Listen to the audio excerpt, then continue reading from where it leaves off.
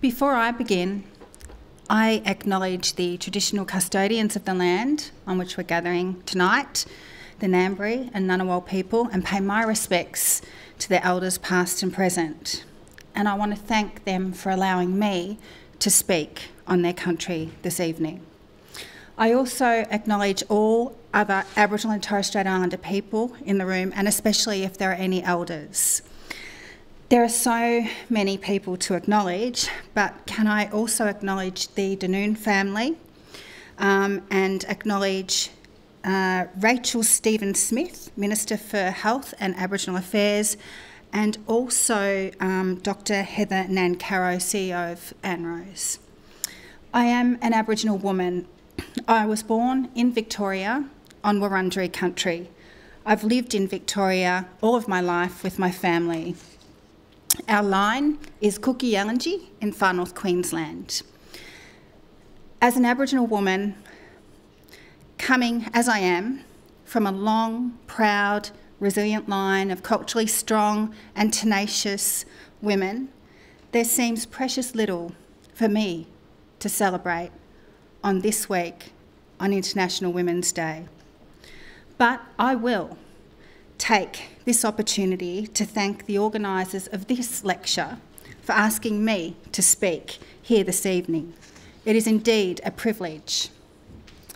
Tonight, I want to take you into my world, my Aboriginal world, ever so briefly, fleetingly, to give you insights into how Aboriginal women's lives around this nation intersect with the mainstream world, of which many of you are a natural part of. A world which many of my Aboriginal sisters and I connect with intensely, occasionally, or rarely, depending on our circumstances and our roles. I think Many of you will have read the deeply disturbing stories of disadvantage and devastation our women experience. You are across the statistics. You've supported our campaigns. Maybe some of you will have worked in our organisations or in bureaucracies that engage with Aboriginal issues. But for me, the bleak reality of what so many of our women and children suffer is deeply personal. And it drives me and so many others to do the work of Djirra, of the National Forum. It drives other Aboriginal organisations, all with a common purpose to demand change, to break through the barriers to see our women succeed and to thrive in many fields of their choice in your world and most importantly in our world, in our cultural way. While I am speaking, I ask you to watch the photos of the Aboriginal women rolling over on the screen above me. Each woman with her own story of strength, courage, and resilience. Women who nurture, who are keepers of culture, givers of life, who are our silent, hidden, often invisible leaders of change. Tonight, I am speaking on Ngambri and Ngunnawal land. And that is significant because we also know it as Canberra, the centre of power where decisions are made which dramatically impact upon the lives of Aboriginal and Torres Strait Islander people, our women, our men, and our children. My work brings me here to Canberra regularly and has done so for years. I know how many of those decisions are made without the participation of our people and especially of our women and children. critical decisions that continue to be made for our women and our children, just as they have been since the invasion of our country, the arrival of the First Fleet. So, if you are looking for confirmation that sovereignty, self determination is real for Aboriginal and Torres Strait Islander people today, you won't find it in my words tonight. To put you in the picture, let me take you back to when I was a child. I was a keen student, very keen, but my family was the only Aboriginal family in a small Victorian town just outside of Melbourne. My brothers and I tolerated, lived with, bore the brunt of daily racism, not just from the kids and from the parents, but also from our teachers as well. I was constantly told that I would never amount to anything because I was Aboriginal. There are some things that have stuck in my mind and travelled with me for all of my life. At primary school, my mum would come to the school fence and hide behind the trees to watch over me and my brother eating our lunch. She didn't know we saw her. We didn't know why she was there, but now I do. My mum was terrified the white welfare would act on their threats to take us from her. So this was her way of protecting us. At secondary school, a kid on the school bus started taunting me and making didgeridoo sounds. He then spat on my school bag. All the kids on the school bus started spitting on my bag, which was in the middle of all of the seats with the other bags. Even some girls who I thought were my friends spat on my bag and laughed along with the others. When the bus stopped, I ran home crying. I found it hard to breathe. My brother was not far behind me. I ran into the house, past my mum and dad. They were sitting at the kitchen table, and I locked myself in my bedroom. My dad took me to every kid's house that was on the bus and told their parents what their kids had done to me. Both mum and dad were up to school the very next morning trying to make sure things were put in place so my brother and I could be safe at school. It didn't change anything. We were not safe. We were still seen and treated as inferior, outcasts, and outsiders. As we got older, we were targeted by the police, always picked up on the streets. And I was charged with assault at 15 for hair pulling. My girlfriend was too. I had never been in trouble, but I was charged, found guilty, and put on 12 months probation, and not allowed to see my best friend for 12 months for hair pulling. I guess she was punished also for mixing with the Aboriginal girl. Racism has many faces. My family appealed, and the case was dismissed and thrown out of court. The judge was appalled it had got to that. I remember him making some strong statements to the police in open court about us being children. I suspect he saw the underlying racism, but maybe didn't have quite enough courage to call it out then. My mum and dad fought hard and they saw the racism. You know, without my family, driven by their devotion to us kids, their lived experience of historic oppression of our people, and their sheer determination to protect us above all else, Well, I don't know whether I would have survived my teenage years.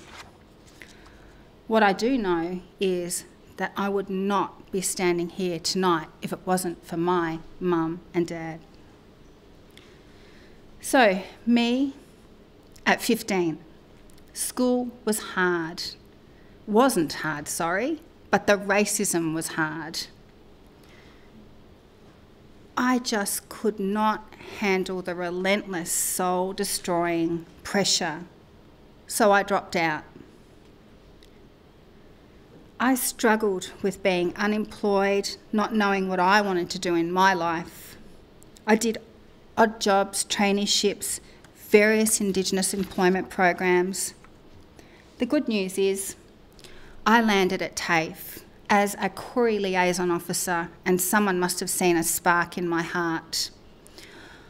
I told a teacher I had always wanted to be a lawyer, and he said, Go and do your law degree, just go and do it now. It took me five years to summon up the guts to go, but I ended up at the Institute of Koori Education in Deakin University as a mature age student. Overwhelmed, unsure, and a bit scared that having moved so far from my known world, my Aboriginal world, I might be swallowed up. I knew though, once I started the law degree, I would finish it, no matter what. Family support continued, as always, especially from my mum, but a whole lot of others joined in too friends, teachers, the CEO at the TAFE, leaders in our community, and the Institute of Koori Education at Deakin. The sort of personal and academic support that white students take for granted as they build their professional careers sudden, suddenly and unexpectedly turned up for me. When I finished my law degree, I started work at the county court as a judge's associate. With just a hint of innocence, I imagined I wanted to work in criminal law, become a barrister, take pro bono cases for our mob, that sort of thing. A very experienced and wise judge took an interest in my career and one day said, in a very judicial voice, Let me tell you, dear, you won't choose your area of legal specialisation, it will choose you. And so it did, advocating, fighting for the rights of Aboriginal and Torres Strait Islander women and children, keeping women's voices and experiences of family violence, incarceration, racism, child removal in front of white Australia. The politicians, the bureaucrats, the media, the judiciary to achieve systemic change.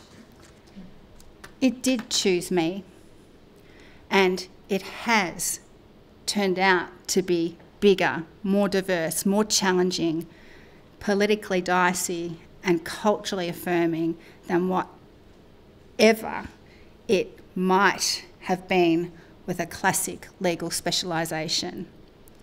Now, here I am, standing in front of you, giving the Pamela Denoon lecture at ANU, and I'm pretty chuffed with that the Chief Executive Officer of Djirra, lawyer, advocate, daughter, sister, auntie. Like all of our women, I too want to do my bit to secure a future for all First Nations women. A future that delivers opportunity and dignity and secures the full suite of human rights that most, if not all of you here tonight, take for granted. Djirra was the first of its kind in Victoria. A trickle of money landed in our state to establish a legal service for the safety of Aboriginal people experiencing family violence. And I, well, the it chose me took over, and I landed the role in setting Djirra up. We started from scratch, finding office space, ABNs, incorporation, the whole thing. We pretty much knew that the vast majority of people accessing our service would be Aboriginal women. And today, 98% of our clients are women and children. There was a natural synergy between the Djirra board and me. We had a shared vision, a specialist legal service that was bolder than just triage, a holistic wraparound support that ensured dignity and cultural respect and safety for our clients. We knew we had to do more and be more than just legal. We knew early intervention and prevention programs would save lives. We wanted to be able to distill the essence of the stories and knowledge that our women shared with us through our on the ground programs. We wanted the voices of our women to resonate and strengthen our advocacy so that we could influence systemic change, big change, necessary change for our people, for our women and children. And here I am, 17 years later, and still the CEO of Djirra. Djirra is a Woiwurrung word for reed. This reed, Djirra, is used by Wurundjeri women, both traditionally and presently, to weave. Weaving is a time for producing all manner of useful and beautiful objects and for considering problems, concerns, issues when Aboriginal women come together to share their stories and find their solutions. Djirra. My experience over the 17 years at Djirra and before has taught me one central thing, and it is this. Since white settlement, Aboriginal women have progressively, systematically, and insidiously been rendered invisible to white Australia. This invisibility, by its nature, is barely noticed or recognised, but it is alive today, as it has been at any time in the past 200 plus years.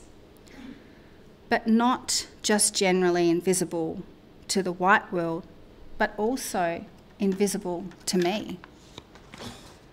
I am an Aboriginal woman.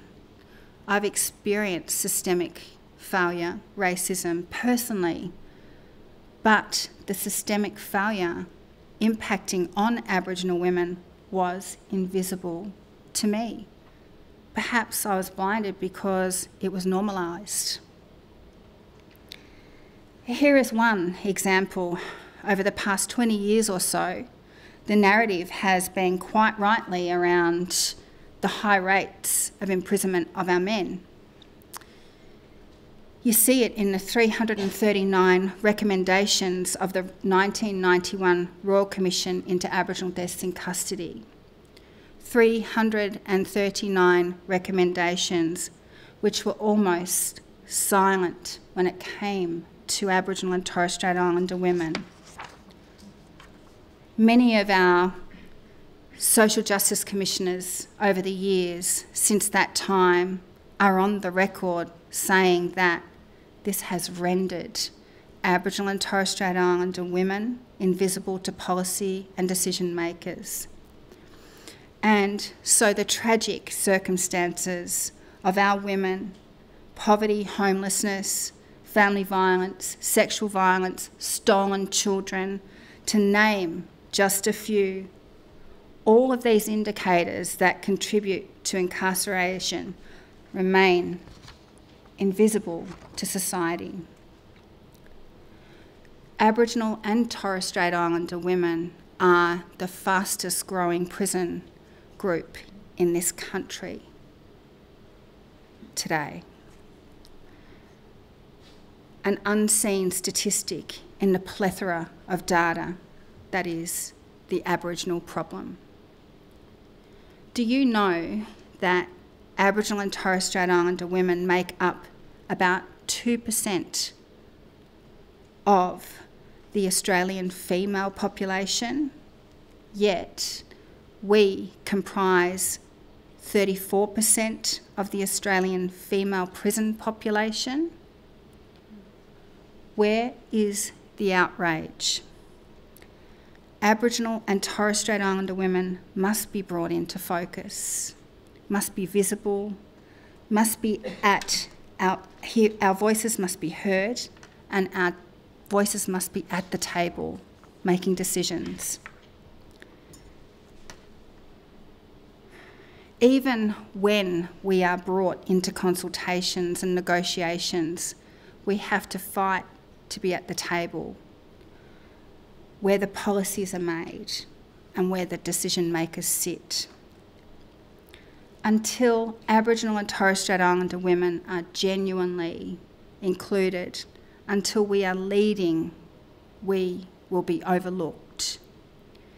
It will still be white people making decisions, imposing white solutions on us. It will still be the white systems controlling and targeting our people. Djirra is determined to change the status quo we operate to accelerate that change, to amplify Aboriginal and Torres Strait Islander women's voices. Our women struggle on a daily basis to get support for their safety. We become targets for racist police, the judiciary, and we become targets for child protection workers. This targeting oppresses our people and it oppresses our mothers in a very particular way. It has a deepening and multiplier effect which is far reaching. Our children become the targets, our future threatened. Aboriginal and Torres Strait Islander women are either overlooked or targeted. We become targets. I would like you to take a moment to imagine being in that world, our world, a First Nations woman's world. Watch the photos of the women. Imagine how much is hidden behind those smiles.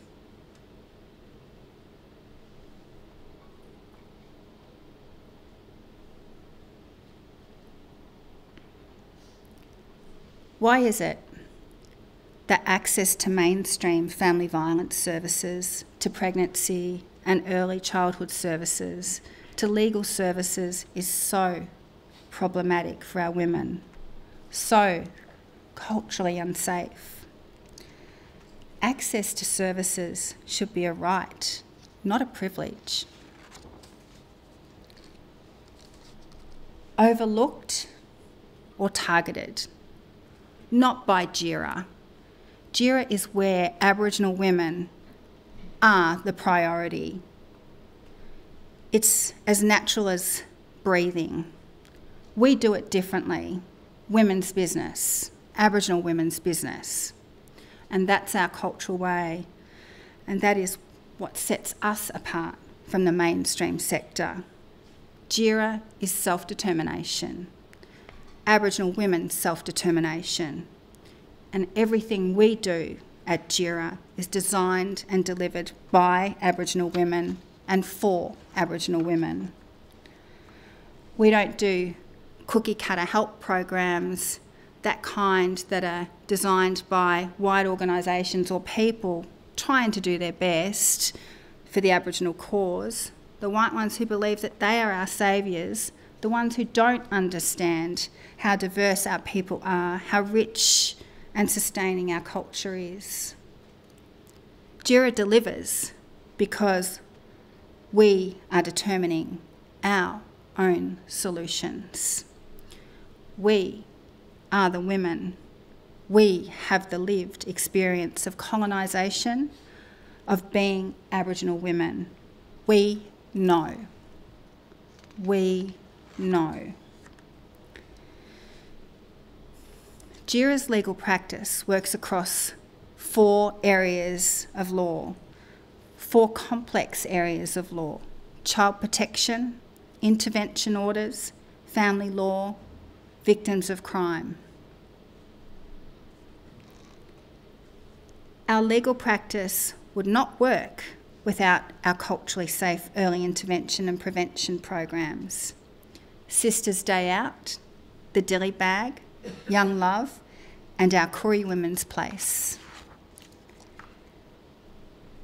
Because the law and the legal system is and continues to be built on white privilege. Djirra's strong foundation of culture and safety works to shield our women from the ramifications of that white privilege, social isolation, racist judgments, controlling actions, and systemic discrimination. Sisters' Day Out is a day full of laughter and lots of pink balloons, flowers, scented candles. Aboriginal women travel far and wide just to spend a day out with other Aboriginal women. Pampering is the hook which draws the women together so that messages about family violence and conversations about finding solutions can take place. There's massage and manicures and hairdressing, and that was my idea. it's fun, it's restful, and it's safe.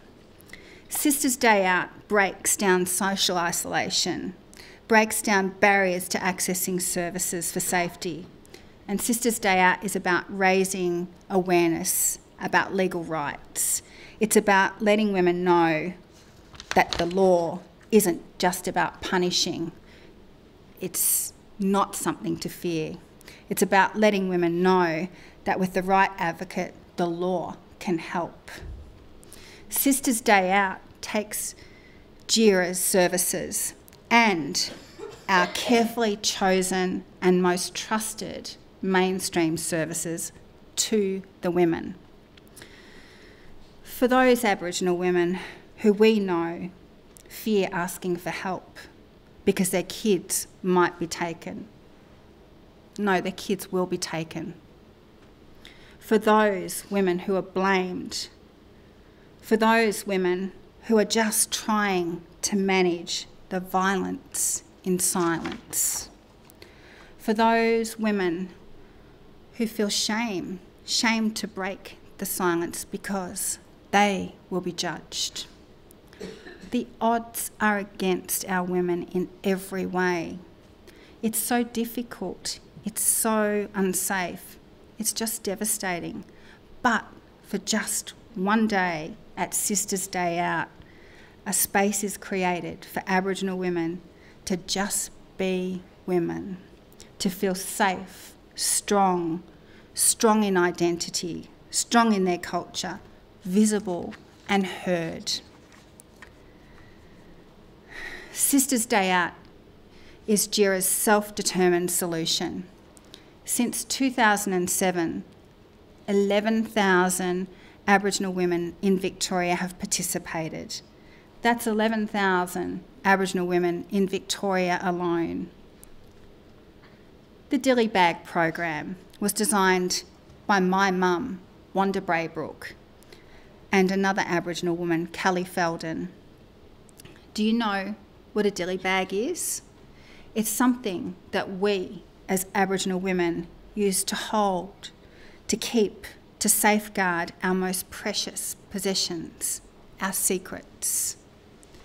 The Dilly Bag program is about sharing cultural knowledge among Aboriginal women. It's about drawing on strength of identity to move us to the next part of our journey of healing.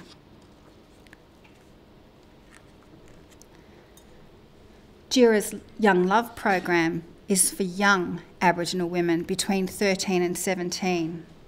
Young Love was designed by two young Aboriginal women, Mariki and Natalia, who worked with Djirra at the time, and they felt that we weren't reaching out to younger women. Well, we do now. Young Love has been in existence for five years. It's young people, young women talking about healthy and safe relationships, not just relationships in community, but with others in their world. Our Koori Women's Place has been Djirra's vision since inception 17 years ago. The Koori Women's Place, where women walk through the door and feel safe, feel the warm energy feel valued and are heard, and their culture and identity is respected and validated. Our Koori Women's Place supports women who wander in off the streets, women who have just been released from prison, have no accommodation or a change of clothes, women who are heavily pregnant and need some nappies or clothes for when their baby arrives. Women who have just been discharged from hospital and need food or transport to get back to family. Our Koori Women's Place goes further and delivers cultural activities, basket weaving, how to make bush medicines and what to use them for, skills workshops, supporting women to get ready with a resume and job applications.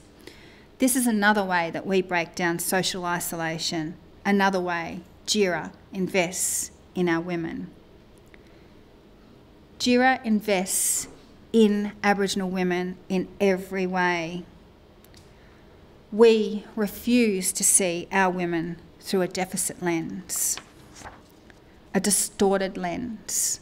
So often is given to us to view ourselves with. Provided at school, reinforced at work, displayed through the media, expected by the police, again, a lens clouded and coloured by white privilege. Every Aboriginal woman who attends our programs, younger or older, goes home with a special hand painted rock with the women's spirit on it, painted by my mum. Women treasure their rocks. We treasure them. The women's spirit represents our strong spirit as Aboriginal women, our spirit, which keeps us strong despite such overwhelming odds.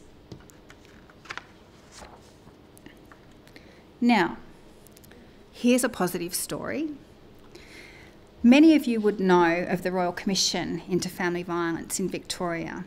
Well, following that Royal Commission, Djirra has had a solid and long term investment from the Victorian Government for our programs. We celebrated Aboriginal women's visibility in the recommendations. We celebrated a commitment in Aboriginal community controlled organisations, self determination. The Royal Commission made a special mention of our work, Sisters Day Out in the Dilly Bag. The commissioners said these programs we need to see more of, not less of. I am yet to see the same level of commitment from our federal government. I said earlier that our legal work covers four areas of law and how historically and still today the law is used as a tool of oppression against our people. So for our women, it's hard to see the law as something that can help. But with every year, we get the message out to women that we have their backs. Our women are starting to see how the law can be used to get a good outcome, to keep their kids, to find safety, be believed. Last year, we saw over 600 legal clients. I'm not sure how many children are attached to those 600 clients today, but a few years ago, when we looked into our legal files of, of 800 women we were working with, there were around 500 children. So, in just one year, we worked with around 1,300 Aboriginal mums and their kids. I want to touch briefly now on some challenges we have nationally as Aboriginal women.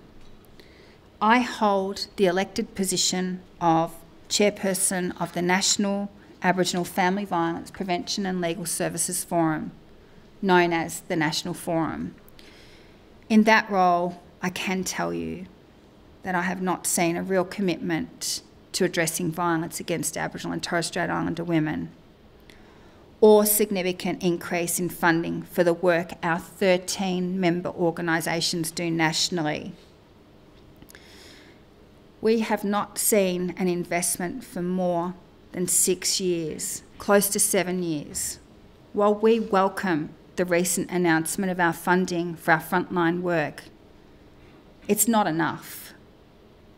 I ask you to look at our social media on this. It just seems that a lot of money is thrown at the Aboriginal problem with white solutions which don't solve anything. Health justice partnerships.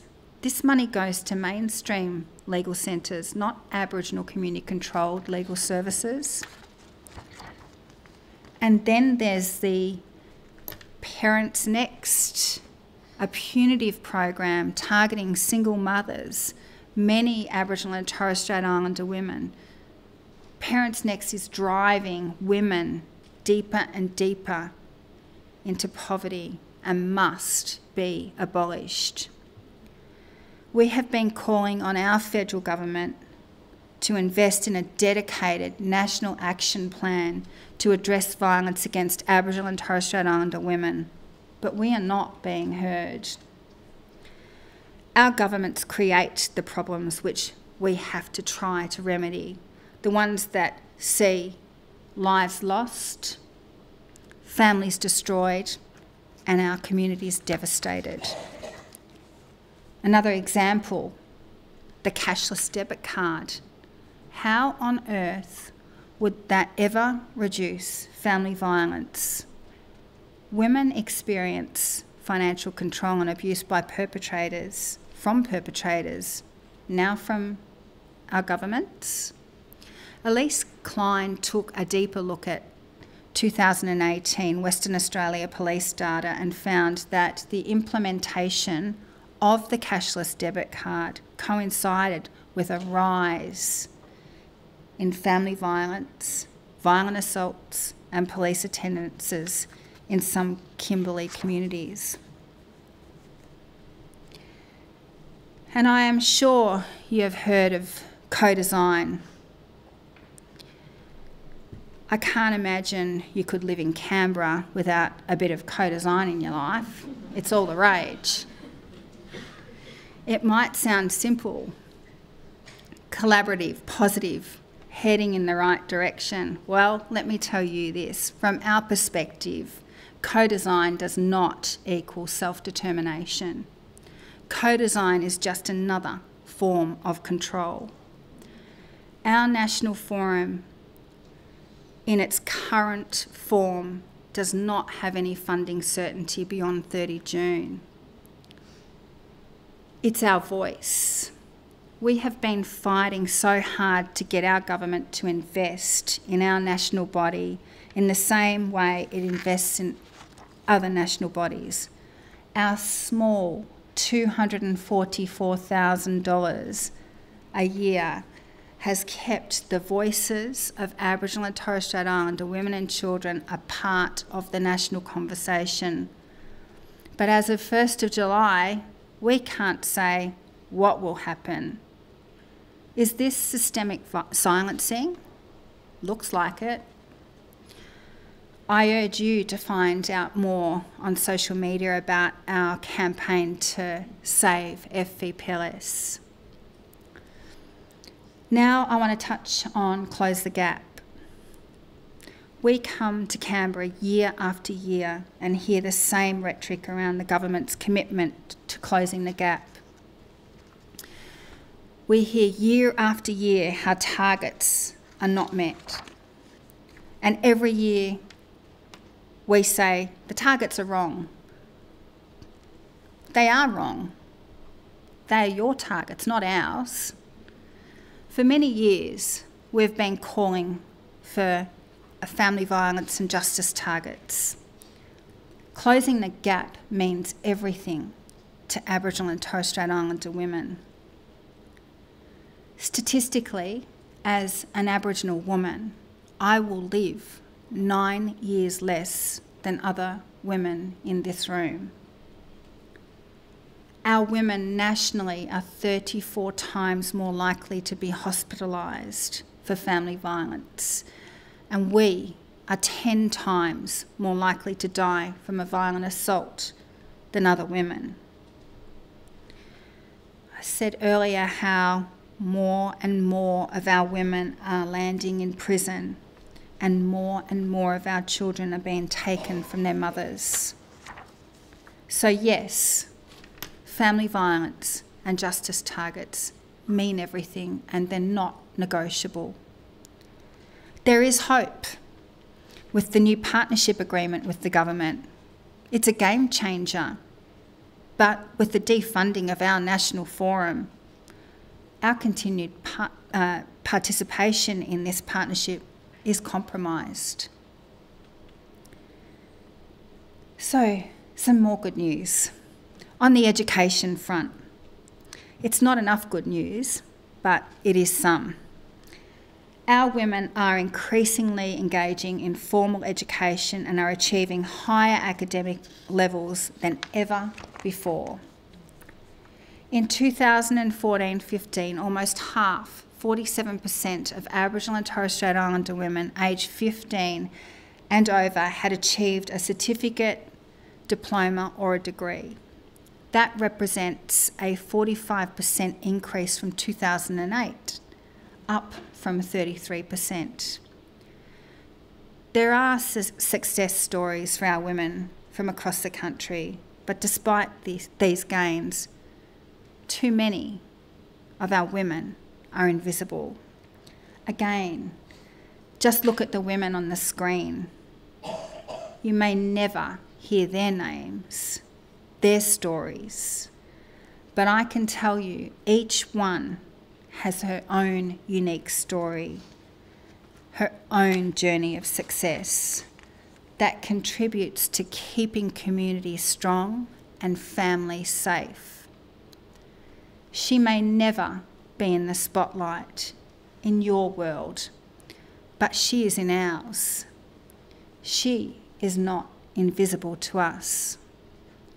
In finishing up, I want to again thank the organisers, the Denoon family for inviting me to speak here this evening. If you want to be an ally, a supporter, a contributor to our cause where human rights and social justice is the foundation and where the particular focus is on the devastating experiences of our women, our children, over time and across the nation, here are some ideas for you to consider. Donations are easy, and of course, we need the money. You can give now to Djirra. Just Google Give Now Djirra. You can follow Aboriginal women and Torres Strait Islander women on social media and amplify our voices. You can educate yourself on the real history of this country. White Australia has a black history. Challenge institutional racism, systemic violence. You don't have to be Aboriginal or Torres Strait Islander to do that. Work with us to break down those big white industries being built on our disadvantage prisons, child protection systems. Stand with us and know that you are welcome to walk with us but never in front of us. Follow our campaign, Save FVPLS, and sign up as a supporter. Turn your International Women's Day and Week into a day of activism. Find the activists in you and join with us. Come to our national gathering in December 2020 Women's Business, Men's Business, Everyone's Business, Our Cultural Way. Brochures are being, I think, out on the front uh, desk. But thank you again for inviting me to give you a small glimpse of what our world looks like, what our world has become. From the moment the colonisers landed over 200 plus years ago, a hard ask to do in about 40 to 50 minutes. but tonight, as an Aboriginal woman, I am not invisible. I have a platform to give voice to others. And it is indeed an honour to be able to speak on behalf of the many women Djirra works with, the women who are invisible, silence. It is these women who drive our passion. It is these women whose courage, strength, resilience, despite overwhelming odds, is just more than inspirational. Thank you.